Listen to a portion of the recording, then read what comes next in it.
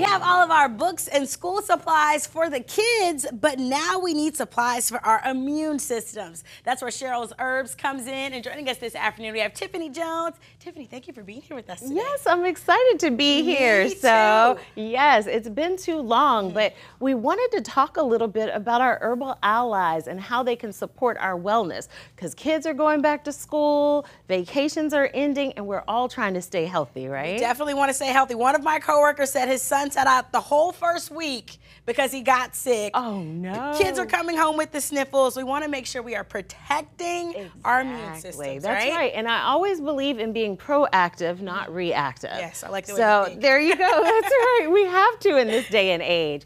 And so today we brought some herbal allies. Mm-hmm. One of my favorite is our elderberry. That helps to support wellness. Mm-hmm. We know it supports the immune system. We're trying to make sure we don't get sick. So these three up here are my top favorite because we also have fire cider, which is hot and spicy and warms up the body.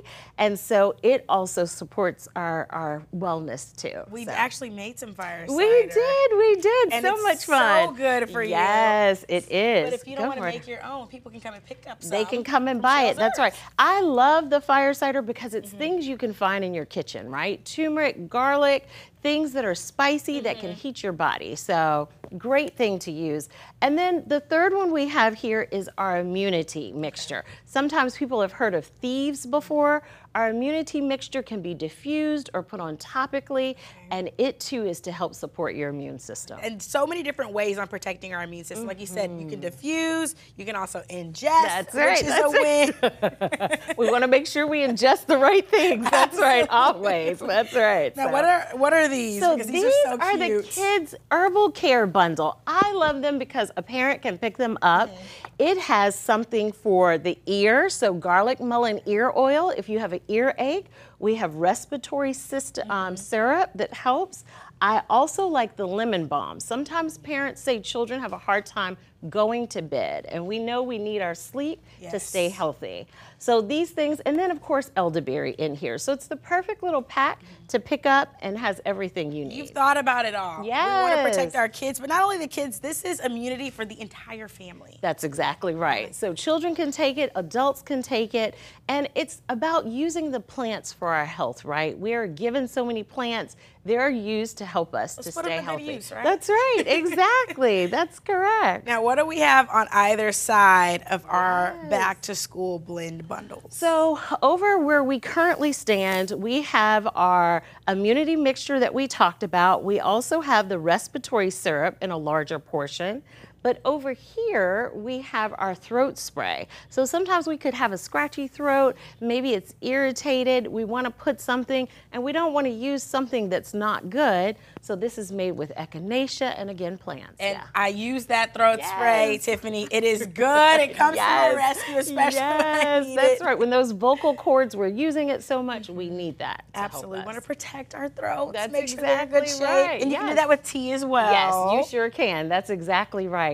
One of the things I love, so we did bring a tea. It has not been steeping that long, Okay. but this is our rose hip tea. Yeah, and it's it. cool. You can make a cool infusion of tea, and that's what this is.